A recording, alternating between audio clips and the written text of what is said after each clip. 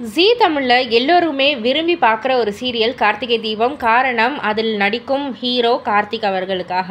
But ஆனால் இப்போது லேட்டஸ்ட்டாக வெளியிட்ட ப்ரோமோவில் தீபா அவர்கள் வந்து இறந்துட்ட மாதிரியும் அதனால் வந்து கதையே இதுக்கு மேலே என்ன இருக்குது அப்படின்ற மாதிரிலாம் நிறைய பேர் நிறைய வருத்தங்களை வந்து தெரிவிச்சுக்கிட்டு இருந்தாங்க. அப்படின்னா இனிமேட்டு கீதாவை தான் வந்து கார்த்திக் கல்யாணம் பண்ணிப்பாங்களா? ட்ராக் அந்த மாதிரி கொண்டு போகிறீங்களா ஒரே உருவம். அதனால் தீபான்னு நினச்சி கீதா கூட வாழ ஆரம்பிப்பாங்களா? அப்படியா இப்படியான்லாம் நிறைய நிறைய கேள்விகள் இருந்தது.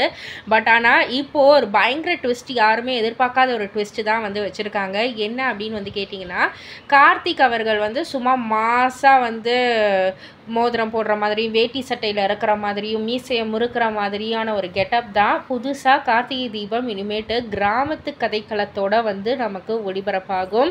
ஸோ டிஃப்ரெண்ட்டான ஒரு ஸ்டோரி தீபா இறந்ததுக்கப்புறமா இவர் வந்து அந்த ஊரை விட்டே போய் ஏதாவது கிராமத்துக்கு போயிட்டாங்களா? இல்லை ஏதாவது ஒரு புது கதைக்களத்தோடு எப்படி கொண்டு வராங்க? அப்படின்றதெல்லாம் பொறுத்திருந்து பார்ப்போம். இதை பற்றி நீங்கள் என்ன நினைக்கிறீங்க? உங்களுடைய கருத்து என்ன? அப்படின்றத கீழே உள்ள கமெண்ட் பாக்ஸில் குறிப்பிட்டு சொல்லிவிடுங்க